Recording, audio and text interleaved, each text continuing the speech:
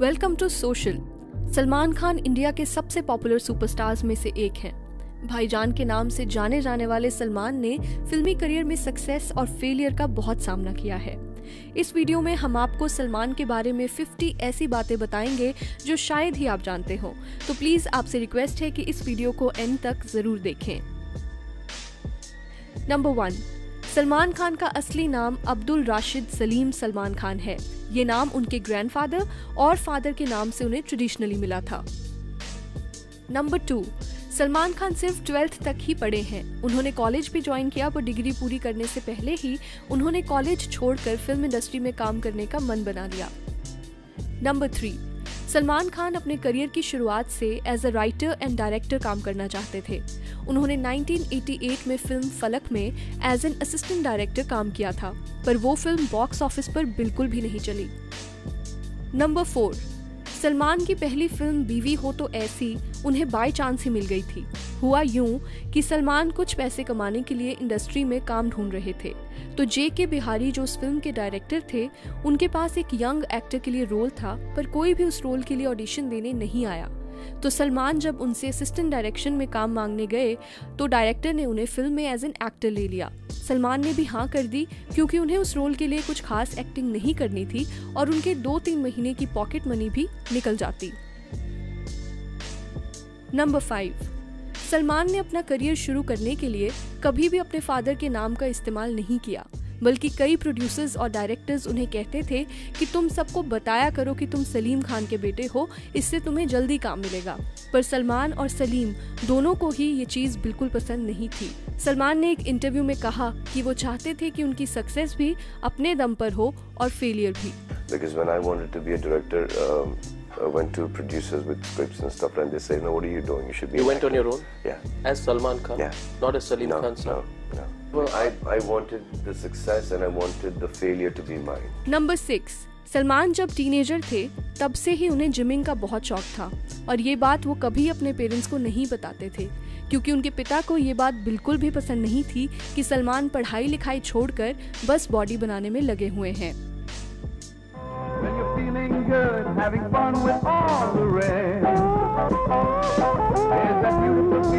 When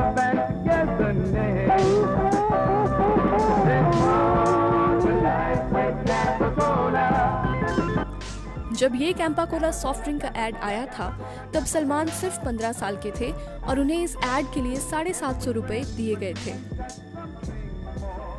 number eight Salman की blockbuster film मैंने प्यार किया, जिस मूवी की वजह से सलमान रातों रात स्टार बन गए, उस फ़िल्म की वो पहली चॉइस नहीं थे।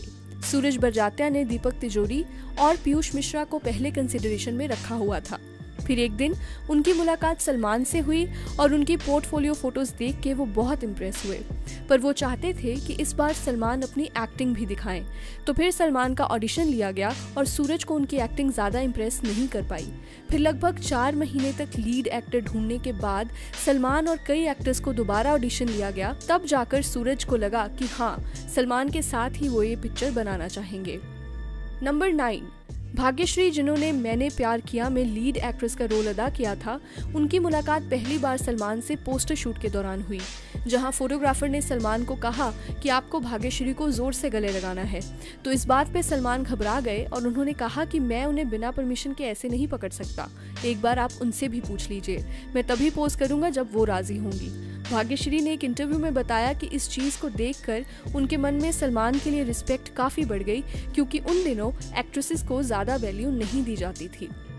नंबर टेन मुनीश पहल जिन्होंने मैंने प्यार किया में विलन का रोल किया था, वो रोल भी उन्हें सलमान की रिकमेंडेशन पर ही मिला था। सूरज और सलमान थोड़े वक्त में ही अच्छे दोस्त बन गए थे, क्योंकि दोनों की एक तरह से ये पहली फ़िल्म थी। तो बातों बातों में एक दिन सलमान ने सूरज को मुनीश बहल को एज अ विलन कास्ट करने की एडवाइस दी और उन्होंने एक ही ऑडिशन के बाद मुनीश को फ़िल्म के लिए फाइनल कर लिया और उसी फ़िल्म से मुनीश का करियर भी चल पड़ा। नंबर इलेवन सलमान खान को मैंने प्यार किया के लिए थर्टी वन थाउज़ेंड रुपीज़ में साइन किया गया था और जब फ़िल्म हिट हुई तो उन्हें फ़िल्म के लिए टोटल सेवेंटी फाइव थाउज़ेंड की सैलरी दी गई थी। नंबर ट्वेल्व जब मैंने प्यार किया सक्सेसफुल रही उसके बाद भी सलमान को अगले छह महीने तक कोई ढंग का काम नहीं मिला। सलमान ने एक इंटरव्यू में बताया कि उस टाइम पर वो सुपरस्टार बन चुके थे, फिर भी वो खाली बैठे रहते थे। तब सलीम खान ने अपने दोस्त जीपी सिप्पी जो कि शोले के प्रोड्यूसर थे, उनसे रिक्वेस्ट की कि आप वैसे ही अनाउंस कर दीजिए कि आपने सलमान को अपने फ़िल्म के लिए साइन कर लिया है। इस ट्यूमर की वजह से उसे और अच्छे प्रोड्यूसर्स के ऑफ़र आ जाएँगे। नंबर थर्टीन बाजीगर फ़िल्म सबसे पहले सलमान खान को ऑफ़र की गई थी, पर वो स्टेज पे नेगेटिव रोल नहीं करना चाहते थे, इसलिए उन्होंने बाजीगर को रिजेक्ट कर दिया और फिर ये फ़िल्म शाहरुख खान को मिली। नंबर 14 सलमान के स्टारडम पाने के बाद उनकी पहली पब्लिकली एक्सेप्टेड गर्लफ्रेंड बनी संगीता बिजरानी। उस वक्त संगीता एक बहुत ही पॉपुलर मॉडल हुआ करती थी और दोनों ने एक दूसरे को लगभग दो साल डेट किया। सलमान ने कॉफ़ी विद करण में कन्फेस किया कि उनके संगीता के साथ शादी के कार्ड्स भी छप चुके थे, पर पर्सनल मैटर्स की वजह से दोनों अलग हो गए और माना जाता है कि उसकी वजह सोमी अली रही थी। नंबर 15 सोमी अली, जो एक पाकिस्तानी ओरिजिन की आर्टिस्ट हैं, उनको धर्मेंद्र 1992 में अपने बेटे बॉबी देओल के साथ रोमांटिक फ़िल्म जान से लॉन्च करने वाले थे। सोमी अली को इस फ़िल्म के लिए साइन भी कर लिया गया था, पर उससे पहले ही सलमान जो उनके नए दोस्त थे, उन्होंने सोमी को फ़िल्म करने से मना कर दिया और अपने साथ फ़िल्म में कास्ट कर लिया। नंबर 16 सोमी अली और सलमान का जब अफेयर न्यूज़ में था, तब दोनों एक फ़िल्म में साथ नज़र आने वाले थे, जिसका नाम था बुलंद। इस फ़िल्म की शूटिंग 80 परसेंट कंप्लीट हो चुकी थी, पर कई अननोन रीजंस की वजह से इस फ़िल्म को पूरा नहीं किया गया।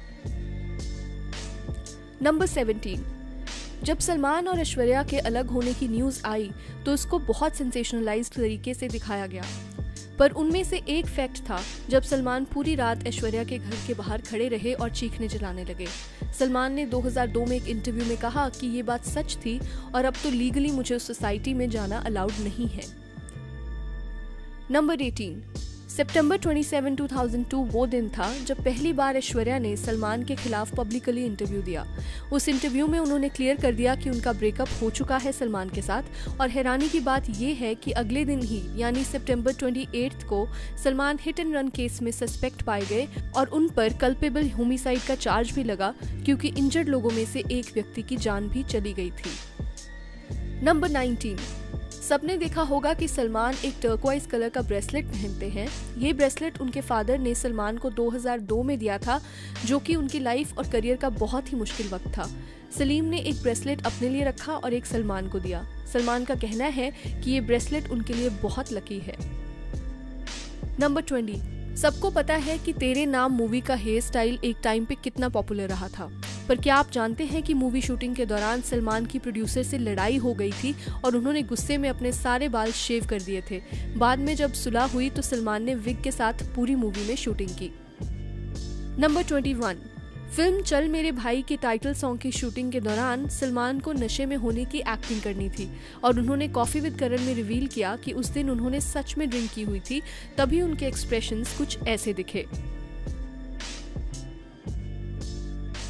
नंबर 22 सबको पता है कि सलमान खान को पेंटिंग का बहुत शौक है। उनकी कई पेंटिंग्स आमिर खान ने खरीदी हैं और यही नहीं, सलमान ही थे जिन्होंने जय हो का पोस्टर भी पेंट किया था। नंबर 23 जब यशराज प्रोडक्शंस ने डिसाइड किया कि वो एक था टाइगर बनाएँगे तो सबसे पहले फ़िल्म डायरेक्टर कबीर खान ने कैटरीना को उस रोल के लिए साइन किया था और शाहरुख को लीड एक्टर के रोल के लिए अप्रोच किया गया था। पर शाहरुख ये फ़िल्म नहीं करना चाहते थे तो फिर कैटरीना ने कबीर खान को कहा कि इस रोल के लिए सलमान खान को भी लिया जा सकता है। बस यहीं से ही कबीर और सलमान की मुलाकात हुई और उसके बाद सलमान ने कबीर के साथ बजरंगी भाईजान और ट्यूबलाइट में भी काम किया। नंबर 24 हर साल 100 करोड़ से भी ज़्यादा इनकम कमाने वाले सलमान अभी भी बैंड्रा के तीन रूम फ्लैट में रहते हैं। ये घर उनके फादर सलीम खान ने अपने पैसों से लिया था और उनका मानना है कि ये घर उनके लिए बहुत लकी है और वो इसे कभी नहीं छोड़ना चाहेंगे। उन्होंने एक इंटरव्यू में इमोशनल होते हुए कहा कि जितनी सुपरहिट फिल्म्स इस छत के नीचे मैंने और सलमान ने दी हैं, उतनी दुनिया के किसी घर ने नहीं दी होंगी, इसलिए मैं ये घर कभी नहीं छोड़ के जाना चाहूँगा। नंबर 25 सलमान खान बॉलीवुड के पहले एक्टर हैं जिनकी चार फ़िल्मों ने 300 करोड़ से ज़्यादा का डोमेस्टिक बिज़नेस किया है। वो चार फिल्म्स हैं, बजरंगी भाईजान, सुल्तान, किक और प्रेम रतन धन पायो। नंबर 26 2017 फोर्ब्स मैगजीन के मुताबिक सलमान वर्ल्ड के नाइन्थ और इंडिया के सेकेंड हाईएस्ट पेड एक्टर हैं शाहरुख खान के बाद। दोनों की अर्निंग्स में एक मिलियन डॉलर का फ़र्क है। नंबर 27 सलमान को सोप्स कलेक्ट करने का बहुत शौक है। उन्हें हर्बल और एंटीऑक्साइड सोप्स इतने पसंद हैं कि जब भी वो फॉरेन ट्रेवल करते हैं तो उस जगह से सोप्स ज़रूर खरीदते हैं। नंबर 28 सलमान को डेविएटेड नेसल सेप्टम है, जिसकी वजह से उनकी नोज़ 80 परसेंट ब्लॉक्ड रहती है। इसी इशू की वजह से सलमान कम से कम रनिंग सीन्स करते हैं और उनकी जगह डुप्लीकेट को यूज़ किया जाता है। नंबर 29 सलमान ने एक दिन अपने फेवरेट गानों की प्लेलिस्ट ऑनलाइन शेयर की थी। उन्हें पुराने गाने बहुत ही पसंद हैं। चुरा लिया है तुमने और मेरे सपनों की रानी उनके ऑल टाइम फेवरेट सॉन्ग्स हैं।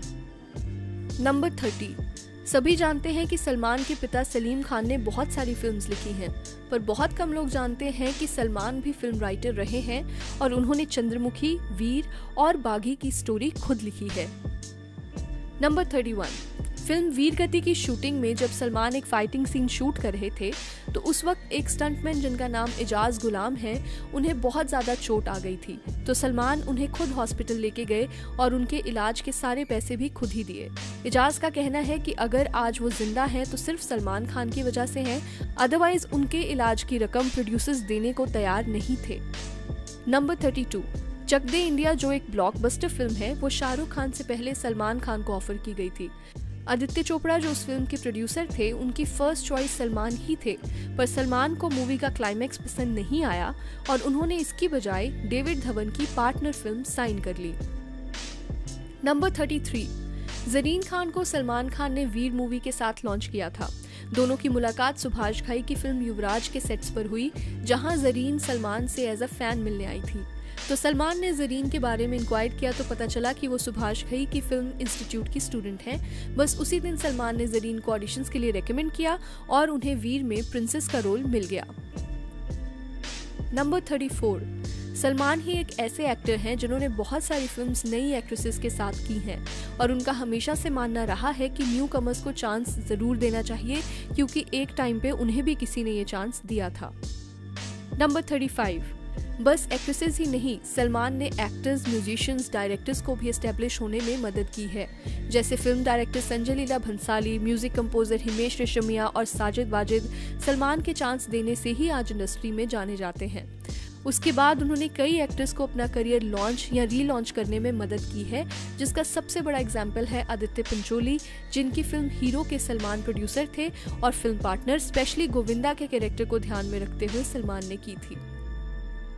नंबर 36 2003 में रिलीज़ हुई फ़िल्म स्टम्प्ड जो रवीना टंडन की पहली प्रोड्यूस्ड फ़िल्म थी, उस फ़िल्म में उन्हें एक स्पेशल अपीयरेंस की ज़रूरत थी, जिसकी वजह से उनकी फ़िल्म की हाइप क्रिएट हो जाए।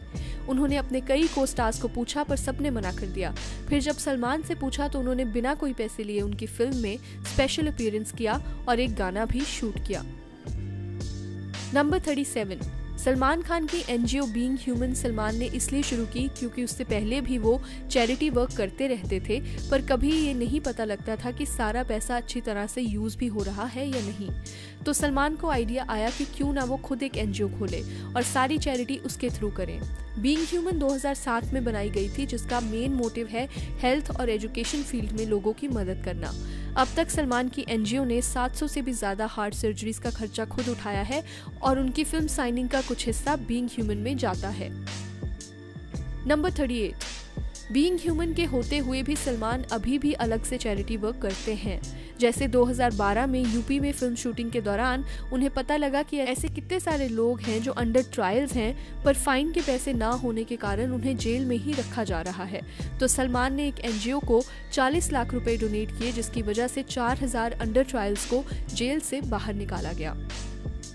नंबर 39 सलमान को कई बार क्रिटिसाइज भी किया गया है कि बीइंग ह्यूमन एक पब्लिसिटी स्टंट है और इससे सलमान अपनी कंट्रोवर्शियल इमेज क्लीन करना चाहते हैं। सलमान ने इसका जवाब एक इंटरव्यू में दिया, जहाँ उन्होंने कहा कि मैं इंटायरली इस बात को डिनाई नहीं करता, पर अब मैं कर भी क्या सकता हूँ? मुझे सच में लोगों की हेल्प करना पसंद है। बाकी इस चीज़ को लोग ही डिसाइड करेंगे। अगर उन्हें फेक लगेगा तो लोग खुद एक दिन बीइंग ह्यूमन को सपोर्ट करना बंद कर देंगे।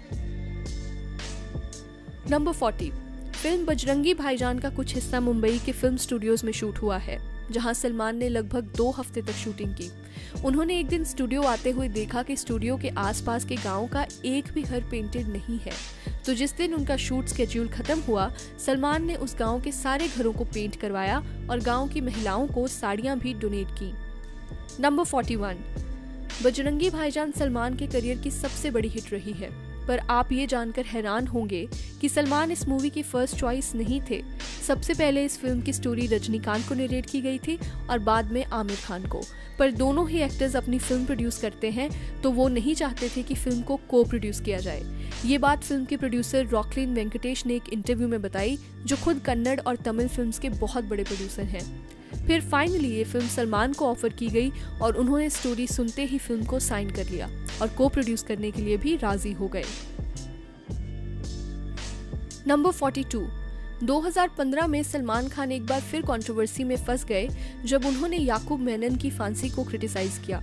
उन्होंने एक ट्वीट में कहा कि याकूब मेनन को बस इसलिए फांसी दी जा रही है क्योंकि वो टाइगर मेनन के भाई हैं। इस ट्वीट के बाद सलमान को बहुत क्रिटिसिज्म झेलना पड़ा और उन्होंने इसके लिए पब्लिकली माफ़ी भी मांगी। नंबर 43 सलमान को सेट्स पे लेट आने की आदत शुरू से ही है। इस चीज़ की वजह से हमेशा उनकी फिल्म्स का स्केड्यूल दोपहर के 12 बजे के बाद ही शुरू होता है। पर इसी कारण कई प्रोड्यूसर्स और डायरेक्टर्स को प्रॉब्लम्स भी होती हैं। तो इस प्रॉब्लम को ठीक करने के लिए सलमान के रिलेटिव अतुल अग्निहोत्री, जो बॉडीगार्ड फ़िल्म के प्रोड्यूसर थे उन्होंने फ़िल्म की शूटिंग के दौरान सबको एक जैसी टी शर्ट पहनाई, जिसमें लिखा हुआ था बॉडीगार्ड रिलीजिंग ऑन ईद 2012 इसका मतलब ये था कि सलमान को हमेशा याद रहे कि उन्होंने फ़िल्म टाइम पर खत्म करनी है, जिसकी वजह से फ़िल्म टाइम पर रिलीज़ हो सके। नंबर 44 जब सलमान खान अपनी फ़िल्म ट्यूबलाइट की प्रमोशन के लिए सुनील ग्रोवर के शो पर गए तो उन्होंने ये बात एक इंटरव्यू में रिवील की कि कैसे उन्हें सुनील की एक्टिंग देख के फील हुआ कि वो खुद उनसे बहुत पीछे हैं। और सुनील जिस तरह से कैरेक्टर में घुस जाते हैं, वैसा वो कभी खुद शायद ही कर सकते हैं।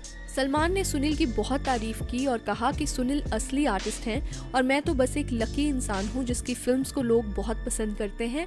मैं उनकी जैसी एक्टिंग कभी भी नहीं कर सकता। नंबर 45 जब 2015 में सलमान को जोधपुर जेल में इनरोल किया जा रहा था, तब फॉर्म भरने के लिए डिटेल्स पूछी गई। तो जब उनसे उनका रिलीजन पूछा गया तो उन्होंने कहा इंडियन सलमान ने एक इंटरव्यू में इस इंसिडेंट को क्लैरिफाई किया और बताया कि मेरी मदर हिंदू हैं और मेरे फादर मुस्लिम। तो मुझे कभी समझ नहीं आता कि ये हिंदू मुस्लिम की लड़ाई क्या है। तभी मैं अपने आप को इंडियन मानता हूँ।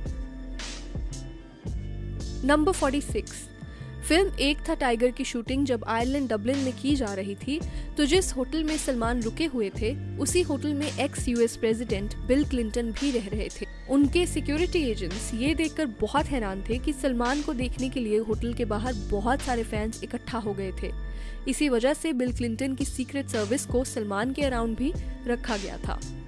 नंबर 47 दबंग फ़िल्म के क्लाइमेक्स सीन के दौरान सलमान ने सोनू सूद को गलती से बहुत ज़ोर से पंच कर दिया था, जिसकी वजह से उनकी नाक टूट गई थी। सोनू ने फिर पाँच छह दिन इंजर्ड होते हुए भी शूटिंग पूरी की और सलमान ने उनसे तहे दिल से माफ़ी भी मांगी। नंबर 48 2017 की रिलीज़ ट्यूबलाइट जब फ्लॉप हुई तो सलमान को बड़ा लॉस हुआ क्योंकि जिस तरह से उनकी फिल्म्स ने पास्ट में परफॉर्म किया है, ये माना जा रहा था कि फ़िल्म 200 करोड़ आराम से कमाएगी और इसी वजह से ये फ़िल्म डिस्ट्रीब्यूटर्स को भी महँगी बेची गई थी जब ट्यूबलाइट बॉक्स ऑफ़िस पे ज़्यादा कमाल नहीं दिखा पाई तो सलमान ने खुद 32 करोड़ रुपीज़ अपनी तरफ़ से डिस्ट्रीब्यूटर्स को दिए कि उनके लॉसेस थोड़े कम हो जाएँ। नंबर 49 सलमान इकलौते ऐसे एक्टर हैं जिन्होंने टाइम टू टाइम फ़िल्मों में गेस्ट अपीयरेंसेस दी हैं। अभी तक सलमान 25 से भी ज़्यादा फ़िल्मों में गेस्ट अपीयरेंस दे चुके हैं और सलमान के अलावा किसी और एक्टर ने बॉलीवुड की हिस्ट्री में इतने गेस्ट अपीयरेंसेस नहीं दिए हैं। सलमान का कहना है कि अगर पाँच मिनट के रोल से किसी की फ़िल्म चल जाती है तो आई डोंट माइंड मैं अपने दोस्तों की हमेशा मदद करूँगा। नंबर 50 सलमान को मैंने प्यार किया के लिए बेस्ट डेब्यूटेंट और कुछ कुछ होता के लिए बेस्ट सपोर्टिंग रोल के लिए फ़िल्म फेयर अवार्ड दिया गया है पर उनके 30 साल के करियर में उन्हें कभी भी बेस्ट एक्टर का फ़िल्म फेयर नहीं मिला है So much of competition in the house itself. There's Arbaz Khan, who was nominated for PRK Dannakia. Actually, he should have got it. If not him, I think Deepu Matre. I don't deserve this award. Thank you very much. तो चलिए that's a wrap on this video आपको ये video कैसी लगी, हमें अपने likes और comments के ज़रिए ज़रूर बताएँ। ऐसी और भी इंटरेस्टिंग वीडियोस के लिए देखते रहिए सोशल हर उस चीज़ के लिए जो आप जानना चाहते हैं।